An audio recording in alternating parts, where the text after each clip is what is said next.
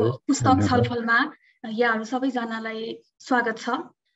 आज हामी पुस्तक छलफल अन्तर्गत इतिहास पहिचान प्राचीन नेपाल किराँत र लिम्बू इता इतिहास भन्ने पुस्तकमाथि छलफल गर्दैछौँ। यो पुस्तक यहाँहरूले देख्न सक्नुहुन्छ। यो पुस्तक चाहिँ मुन्दुम एकाडेमीले प्रकाशित गरेको पुस्तक हो। र यो पुस्तकका लेखक हुनुहुन्छ कृष्ण विक्रम नेमवाङ। र यो पुस्तकमा आठवटा लेखहरू सङ्ग्रहित छन्। र यो पुस्तकमा रहेका आठवटा लेखहरू मध्ये सुरुका चारवटा लेखहरू मूलत सिन्धु गाङ्गे किराँत प्राचीन नेपालको इतिहाससँग सम्बन्धित रहेका छन् र त्यसपछिका चारवटा लेखहरू चाहिँ लिम्बू जातिको ऐतिहासिक रूपरेखा घटनाक्रम संस्कृति र विद्रोहसँग सम्बन्धित रहेका छन्। र आजको छलफलमा यिनै विषयवस्तुहरूमाथि छलफल हुनेछ र यो पुस्तकमाथिको छलफलको लागि आज हामीसँग पुस्तकका लेखक कृष्ण विक्रम नेमाङ र पुस्तकका सम्पादक डिबी आङबुङ हुनुहुन्छ। कृष्ण विक्रम नेमाङ जो पुस्तकका लेखक हुनुहुन्छ उहाँ इतिहासविद भनेर चिनिनुहुन्छ। उहाँको यस पुस्तक बाहेक अरू चारवटा पुस्तकहरू प्रकाशित भएका छन्। डायरीमा बेलायत दुई हजार सत्र सत्तरी सत्र सालको क्रान्तिको सम्झना दुई हजार छयत्तर आक्षेप र पाठन प्रतिक्रिया दुई हजार बहत्तर र स्मृतिमा बिपी आन्दोलन भन्ने पुस्तक प्रकाशित भएका छन्। र डिबी आङबुङ जो आजका आज जुन यो पुस्तकका सम्पादक हुनुहुन्छ उहाँ अध्यक्ष हुनुहुन्छ। उहाँको सह सम्पादनमा लिम्बू पहिचान मौलिक याङथुङ पहिचानको खोजी र अर्को पुस्तक पुस्तक समन्वेषण नेपाली आदिवासी पहिचान भन्ने पुस्तक उहाँको सह सम्पादनमा प्रकाशन भएका छन्। त्यसै गरी उहाँले पत्र पत्रिकाहरूमा पनि लेख्दै आउनु भएको छ। आजको छलफलमा विशेष गरेर सुरुमा पुस्तकका लेखक कृष्ण विक्रम नेमवाङले पुस्तकका बारे र त्यसभित्र रहेका प्राचीन नेपाल किराँत र लिम्बू इतिहासमाथि आफ्नो प्रस्तुति दिनुहुनेछ र त्यसपछि डिबी आङबुङजीले चाहिँ छोटोमा किताबको बारेमा समग्रमा आफ्नो विचार राख्नुहुनेछ। र हाम्रो कार्यक्रम सदा चाहिँ दुई चरणमा हुनेछ। पहिलो चरणमा दुईजना वक्ताले आफ्नो प्रस्तुति दिनुहुनेछ र त्यसपछिको बाँकी पन्ध्रदेखि बिस मिनटको समय चाहिँ हामी खुला छलफल गर्छौँ। खुला छलफलमा आजको यो विषयवस्तुमाथि सहभागीहरूले प्रश्न जिज्ञासा अथवा टिप्पणीहरू राख्न सक्नुहुन्छ। त्यसको लागि जुममा सहभागी हुनुभएका सहभागीहरूले जुमको च्याट बक्स प्रयोग गर्न सक्नुहुन्छ र रेज ह्यान्डको अप्सन प्रयोग गरेर प्रश्न जिज्ञासा र टिप्पणीहरू राख्न सक्नुहुन्छ। र त्यसै गरी फेसबुक लाइभबाट हेरिरहनुभएका सहभागीहरूले फेसबुकको कमेन्ट बक्समा लेख्न सक्नुहुन्छ। अब भने म आजको छलफललाई अगाडि बढाउनु हुन र आफ्नो प्रस्तुतिको लागि कृष्ण विक्रम नेमाङजीलाई अनुरोध गर्छु।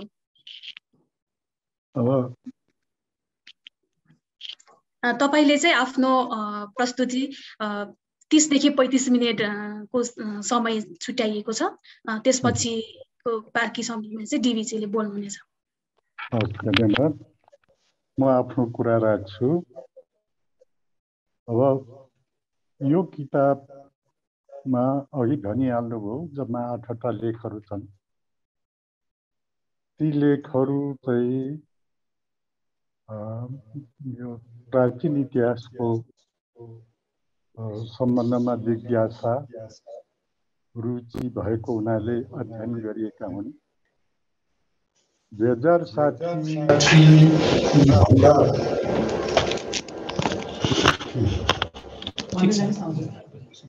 दुई हज़ार साठीभन्दा उता पनि इतिहास सम्बन्धी अध्ययन मैले गरेको हो। मलाई सानैदेखि इतिहासमा रुचि भएको पनि हो। तर साठीभन्दा उता अलिकति राजनीति बढी पढियो। इतिहास छिटपुट मात्रै पढियो प्राय सिस्टमेटिक अध्ययन भएन। साठी मलाई फुर्सद भयो एक प्रकारले। र त्यसपछि मैले इतिहासको सिस्टमेटिक अध्ययन गर्ने चाँजो पाँजो मिलाएँ। तर त्यति बेलै पनि दुई चार वर्ष के भयो भने देशको परिस्थितिले गर्दाखेरि त्यति राम्रो अध्ययन गर्नु सकिएन। त्यति बेलाको राजनीतिक परिस्थिति अलिकति बेग्लै किसिमको भयो र थियो। यद्यपि केही देशका इतिहासहरू पढ्दा पढ्दै केही दुई चार वर्ष चार पाँच वर्ष त्यतिकै चाहिँ भयो। त्यसपछि मैले त्यसपछिको अवधिमा मलाई के लाग्यो भने त्यस्तो अध्ययनले कुनै देशको देशहरूको भने इतिहास मात्रै अध्ययन गरेर पुग्छ जस्तो लागेन। मलाई आत्मसन्तुष्टि भएन। अनि मैले चाहिँ इतिहासलाई मानव जातिको इतिहास उत्पत्ति र विकासको इतिहासदेखि नै प्राचीन सभ्यताहरू पढेँ। अध्ययन गरेँ जस्तो मेसोपोटामिया नाइल रिभरको इजिप्टको सभ्यता वाङ्वे सभ्यता याङ्जे सभ्यता, र यो के अरे सिन्धु सभ्यता सिन्धु सभ्यताको कुरा गर्दाखेरि त्यो हाम्रै नजिकमा, एकदमै नजिक छिमेकी देशमा भएको त्यत्रो ठुलो सभ्यताको बारेमा अध्ययन गर्दा बडो एउटा के भने त्यो मात्र होइन त्यसपछिको सभ्यताहरूलाई सिन्धु सभ्यता पढ्दा गाङ्गेय सभ्यता पनि सँगसँगै पढ्नु पर्ने रहेछ, बुझ्नको लागि। अथवा सिन्धु सभ्यताले गाङ्गेय सभ्यता पढ्दाखेरि सहयोग गाङ्गेय सभ्यता पढेपछि मात्रै किराँत सभ्यता पढ्न सजिलो हुने रहेछ। यो कुरा ती सभ्यताहरू चाहिँ इन्टर रिलेटेड जस्तो लाग्यो मलाई, यसरी सभ्यताहरू। त्यसपछि आफ्नै देशको प्राचीन इतिहास, नेपालको अध्ययन गरे मुख्य रूपमा भारतीय उपमहाद्वीपभित्रको तिनवटा सभ्यता, नेपालको सित चाहिँ नेपालको इतिहाससित चारवटै भनौँ। मात्रै हो खास गरी मैले अध्ययन गरेँ। अब यो किताबमा भएका आठवटा मध्ये चारवटा जुन आर्टिकलहरू छ, त्यो चाहिँ दुईवटा किराँत सभ्यता र नेपालको प्राचीन इतिहास पढ्ने क्रममा प्राप्त भएका हुन् किनभने लिम किराँत सभ्यता र नेपालको प्राचीन इतिहास पढ्दाखेरि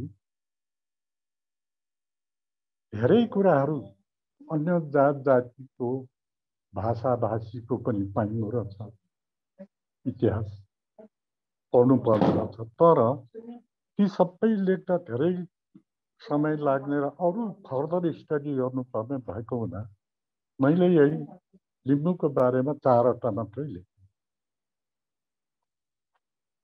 भनेको त्यहाँनिर समावेश गर्न सकियो। र यसरी अब यसलाई पनि यो चारवटा के अरे इतिहास र सभ्यता र इतिहासको अध्ययन गर्दाखेरि यसलाई पनि के अरे मानव शास्त्रको आधारमा भाषाको आधारमा धर्मको आधारमा पुरातत्वको आधारमा पनि यसलाई चाहिँ यो सभ्यताहरू के हो भनेर चाहिँ हेर्ने कोसिस गरियो त्यो गर्दाखेरि यी अरू अन्य कुराहरू चाहिँ आएका हुन्। यसपछि अब म यसमा म अरू केही नभनौँ किनभने समय अलिकति कम छ बरु अन्तर्क्रिया गर्दाखेरि अलि राम्रो होला। त्यति बेला म आएको प्रश्नहरूको यथोचित चाहिँ उत्तर दिने कोसिस गर्छु। र यो मैले यी सभ्यताहरू यी इतिहासहरू आफूले जान्नको निम्ति चाहिँ मैले अध्ययन गरेँ। तर यो लेख्नु पर्ने लेख्ने प्रेरणा पनि कसरी आयो भन्ने एउटा प्रश्न। मलाई एउटा प्रेरणा आयो लेख्ने। जस्तो सिन्धु सभ्यता नै किन त्यो किताबमा समावेश गर्नु पर्यो?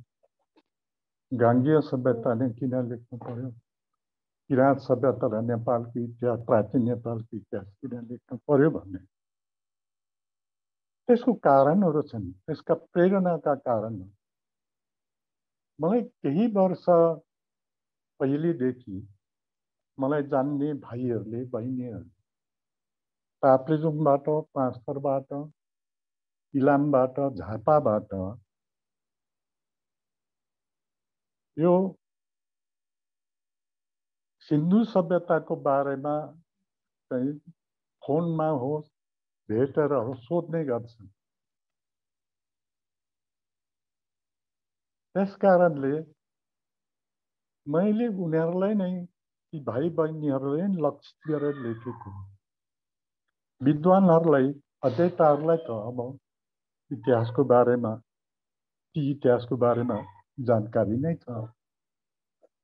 तर ज जसलाई आवश्यकता छ, थाहा छैन जिज्ञासा छ, उनीहरूको निम्ति, उनीहरूलाई लक्षित गरेर मैले त्यो लेखेको अघि नै भने, सिन्धु सभ्यता पढेपछि गाङ्गेय सभ्यता बुझ्न सजिलो हुने हुनाले त्यो गाङ्गेय सभ्यता लेखेँ।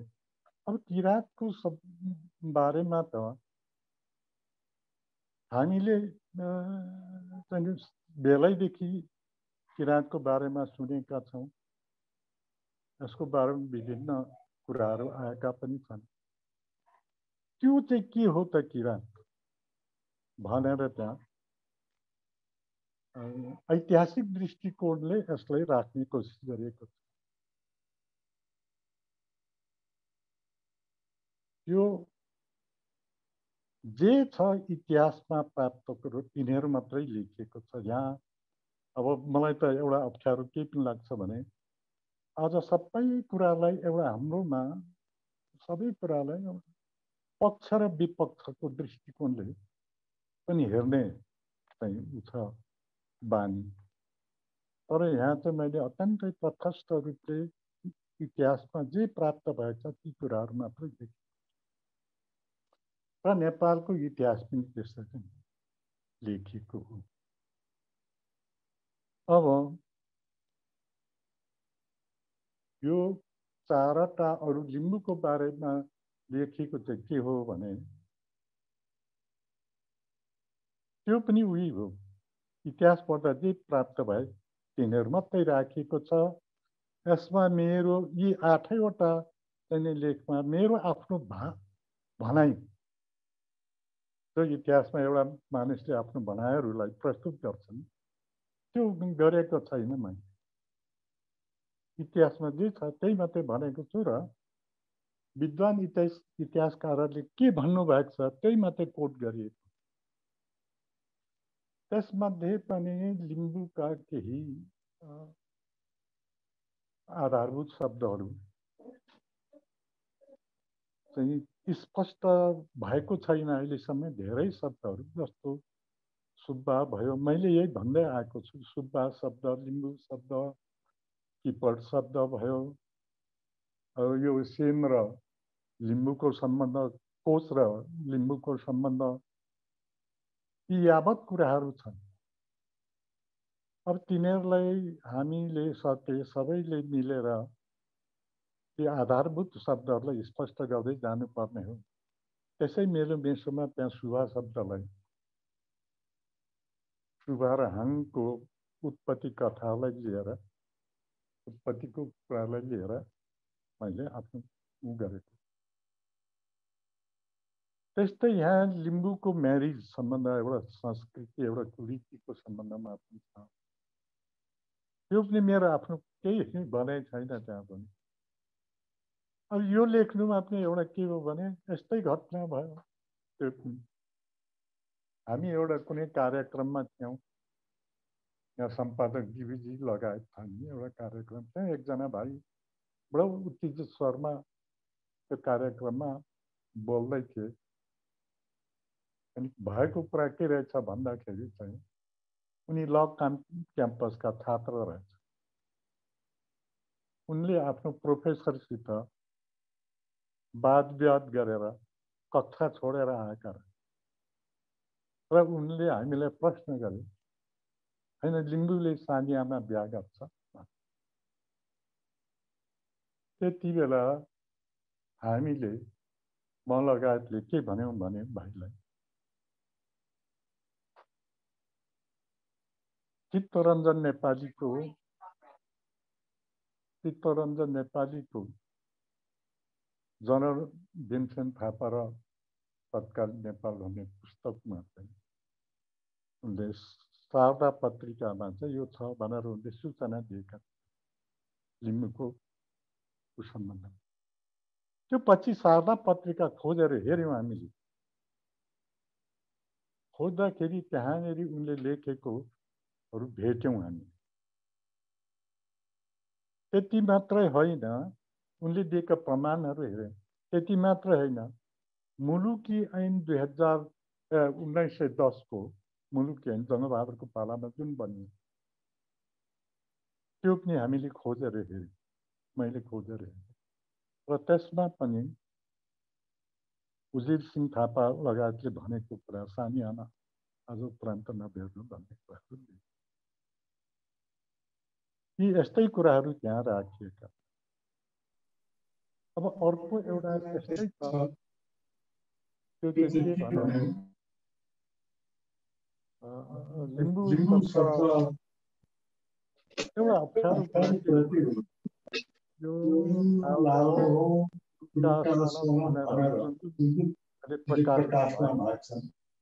कतिवटा कुराहरू पनि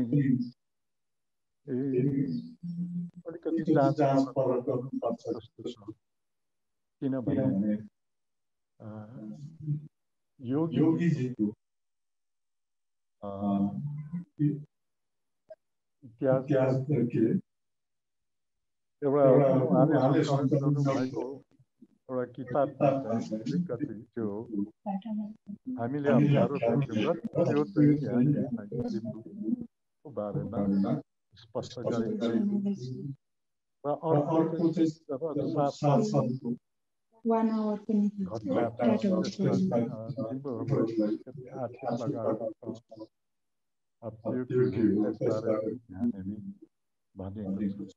यो सबै चाहिँ कसरी आयो भने यही चारवटा हिन्दू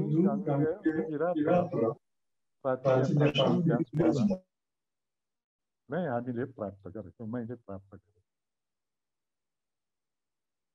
अब म धेरै भन्न चाहन्छु किनभने भनिएकै छ पाठकहरूले नै पढेर उहाँहरूले नै बुझेको न केही कुराहरू बुझ्नु भएको केही कुराहरू चाहिँ उहाँहरूलाई अप्ठ्यारो लागेको कुराहरू उहाँहरूले नै मलाई भन्दाखेरि म आफ्नो भन्न सक्छु म आफ्नो कुरा यति नै के अरे स्थगित गर्न चाहन्छु यो छलफललाई हस् त धन्यवाद हस् धन्यवाद अब म डिभिजीलाई अनुरोध गर्छु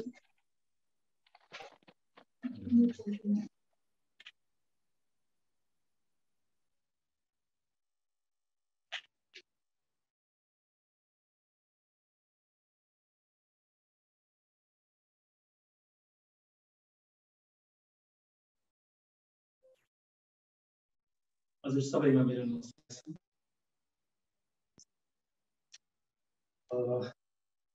यो कार्यक्रम सुनिरहनुभएका सम्पूर्ण लागि मार्टिन सरकारले धन्यवाद लेखकज्यूले आफ्नो कुराहरू राखिसक्नुभएको छ त्यो कुराहरू अघि सम्झिँदाखेरि भन्नुभयो जस्तै यो किताबलाई इतिहाससम्म ल्याउने क्रममा एउटा सम्पादकको जस्तो हेर्दा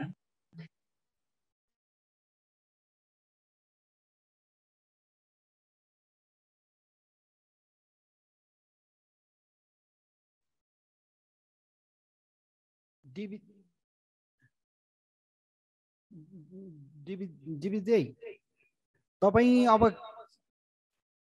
कृष्ण सरकोमा गएर बोल्नु न। एउटा सम्पादकको रूपमा भूमिका खेल्दा र यो किताबलाई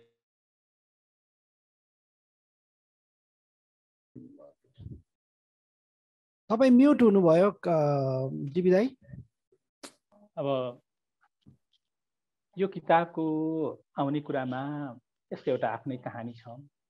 विशेष गरी कृष्ण विक्रम नेम्बाङले आफ्नो पृष्ठभूमि अघि बताउनुभयो। उहाँ इतिहासको एउटा राम्रो विद्यार्थी खोज अनुसन्धान गर्ने हुनुहुँदो रहेछ। अब अहिलेको हाम्रो इतिहासहरू हेराइ अध्ययन गरेको कुराहरू पनि अहिले एउटा आफ्नो इतिहासहरू खोज्ने कुराहरू आयो। विशेष गरी आफ्नो इतिहासहरू प्रष्ट भएन भने धेरै कुराहरूमा प्रष्ट हुन नसकिँदो रहेछ गाह्रो हुँदो रहेछ। यसै बेला एउटा पहिचानको आन्दोलन पनि छ। त्यो एउटा पहिचानको आन्दोलनहरूलाई खास रूपमा आधार दिनको लागि आफ्नो इतिहासहरू चाहिँ एउटा दह्रो आधार हुने रहेछ। त्यही इतिहासहरू चाहिँ प्रष्ट भएन भने दुविधाले दुविधायुक्त भयो भने त्यसले एउटा राम्रो निचोड नदिने गाइड नगर्ने त छँदैछ नै। त्यसले हरेक कुराहरूले एउटा दिग भ्रमित पार्ने र एक आपसमा द्वन्द सिर्जना पनि गर्ने रहेछ। यस्तै क्रममा अब हामीले आफ्नो एकदमै एउटा निखर इतिहास किनभने इतिहास दुईवटा हुँदैन। इतिहास जहिले पनि एउटा हुन्छ। त्यही एउटा इतिहासलाई आफ्नै तरिकाले व्याख्या विश्लेषण गरेर प्रस्तुत गर्ने जुन चलनहरू थियो त्यसको एक हिसाबले हामी खोजीमा थियौँ। त्यो क्रममा कृष्ण विक्रम नेम्बाङज्यूले पहिल्यैदेखि लेख्दै आउनु भएको थियो। विशेष गरी उहाँ इतिहासमा राम्रो दक्षता राख्नु हुँदो रहेछ भन्ने कुरा चाहिँ हामीलाई आजभन्दा करिब बाह्र वर्ष अगाडि सौरभ ज्यूले जीले कान्तिपुर मार्फत आफ्नो केही धारणाहरू व्यक्त गर्नुभयो विशेष गरी किराँतहरूको बारेमा लगायतको बारेमा।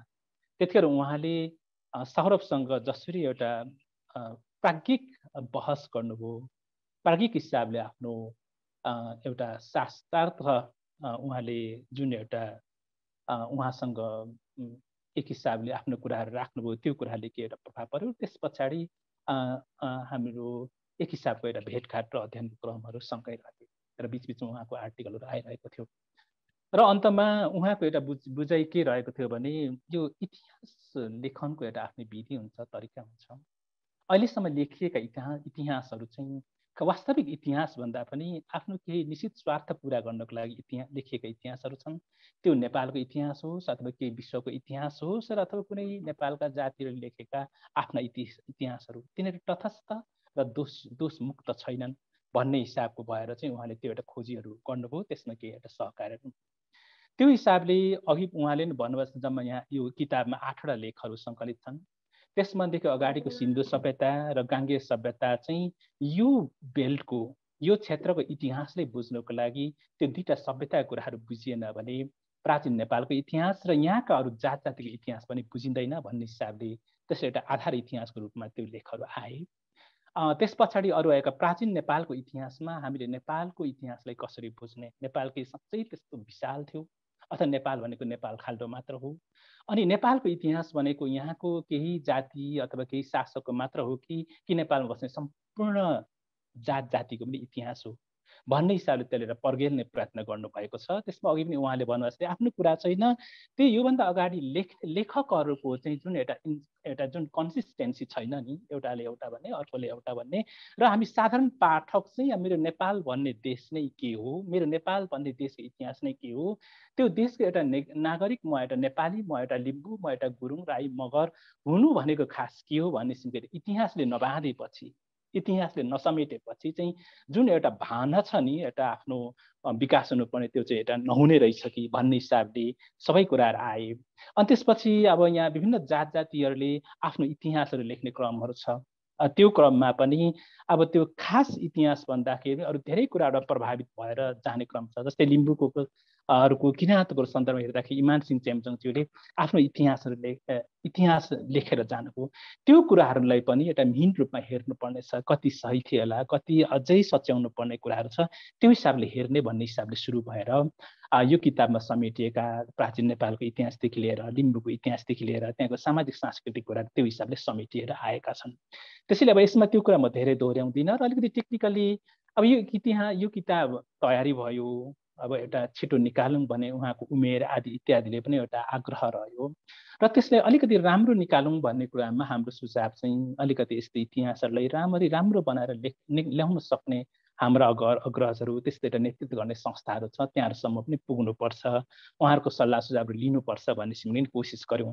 त्यसो हुँदाखेरि अब अहिले नै यही संस्करणमा हाम्रो पहुँच नै पुगेन जस्तै यस्तो कुराहरू माडिन चौतारी जस्तो संस्था त्यहाँको एउटा टिमहरूसँग पनि एकचोटि बसेर सल्लाह गरेर हामीले ल्याउन सकेको भए यसको जुन यो यसको एकाडेमिक एउटा प्रागिक प्रागिकपन यसको एउटा कन्सिस्टेन्सी मिलाउने क्रमहरू अझै राम्रो हुन्थ्यो होला भने हामीले अझै फिलिङ भइरहेछ।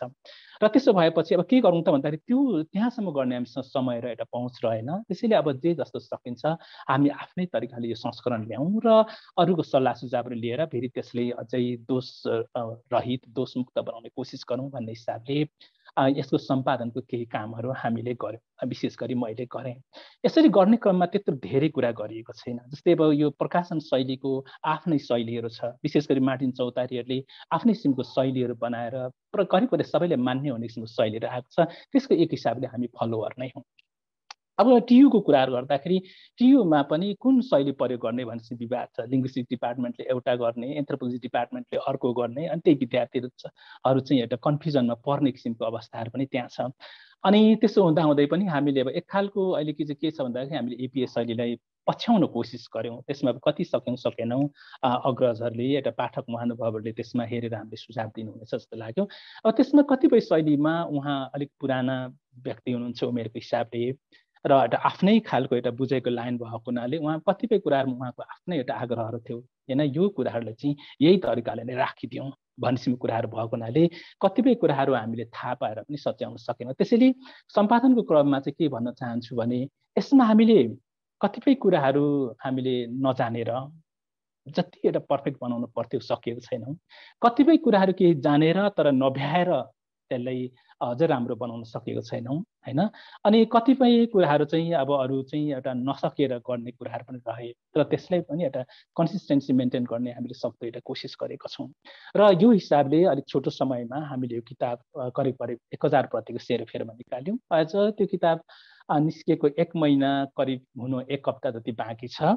र करिब करिब हामीसँग हाम्रो स्टकमा एक सय प्रति जति मात्रै राखेर किताब करिब करिब हामीले बाहिर पठाइसकेका छौँ सकिएको छ एक हिसाबले। र हामी अर्को संस्करण निकालिहाल्ने त्यस्तो हामी हतारमा छैनौँ।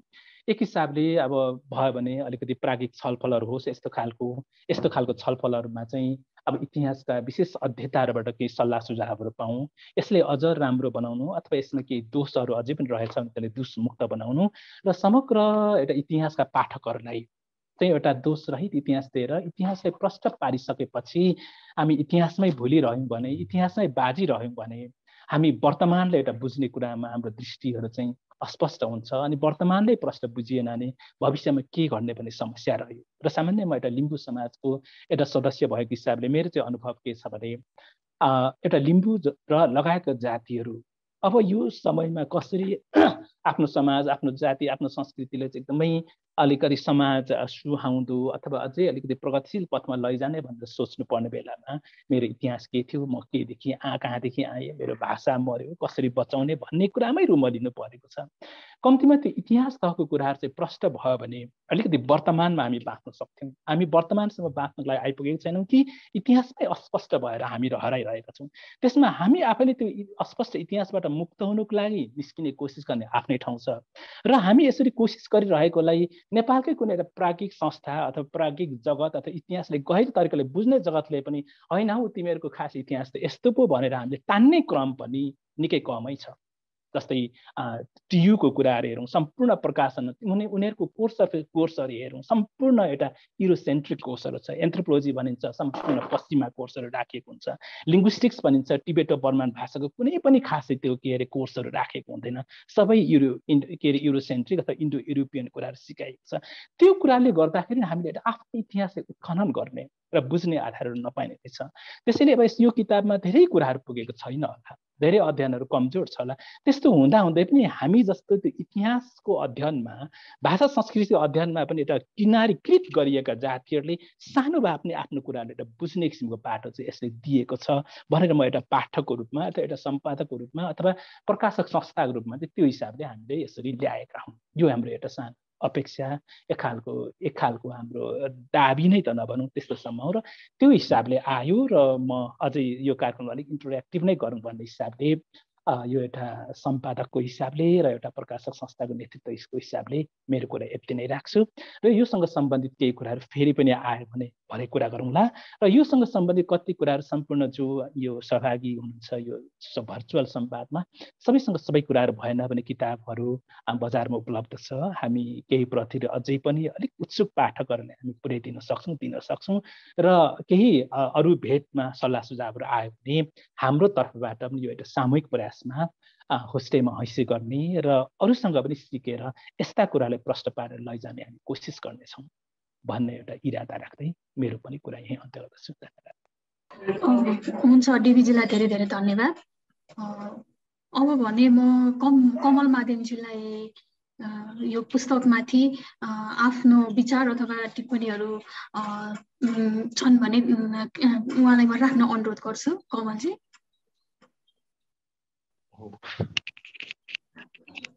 हजुर नमस्कार। हजुर। हजुर भन्नुहोस् न। हजुर तपाईँले यो पुस्तकमाथि तपाईँको टिप्पणी अथवा विचारहरू के छन् भने तपाईँले राख्न सक्नुहुन्छ? धन्यवाद। यो किताब अब मैले खोलेरै बोलेँ। हो र? यो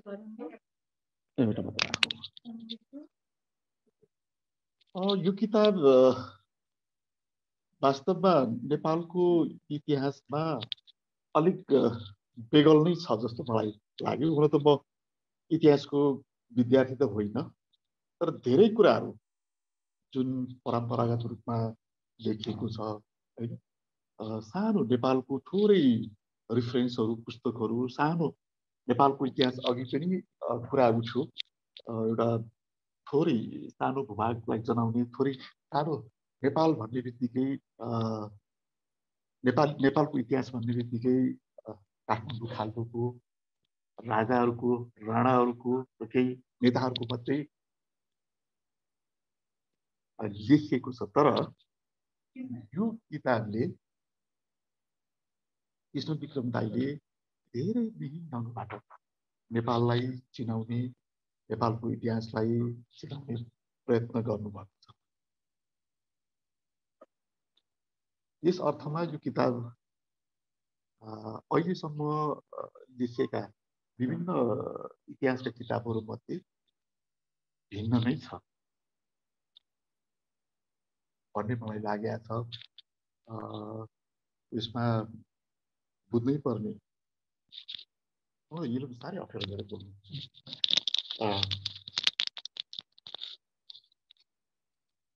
नेपालको कतिपय सन्दर्भमा जस्तो किराँतको हिस्ट्री अनि लिम्बूभित्रका कुराहरू विभिन्न विभिन्न ढङ्गले सिलसिलेवार ढङ्गले कुराहरू दाइले अहिलेसम्म जति पनि पब्लिस भएको छ त्यसलाई सङ्ग्रह गरेर त्यसलाई चाहिँ जोडेर प्रष्ट रूपमा अगाडि ल्याउनु भएको छ। अत्यन्त राम्रो छ यस अर्थमा धेरै कुराहरू यो सानो किताबबाट धेरै कुराहरू थाहा पाइन्छ भन्ने मलाई लाग्छ। अन्त मेरो भनाइ यिनी अन्त गर्छु हुन्छ। हुन्छ हस् धेरै धन्यवाद।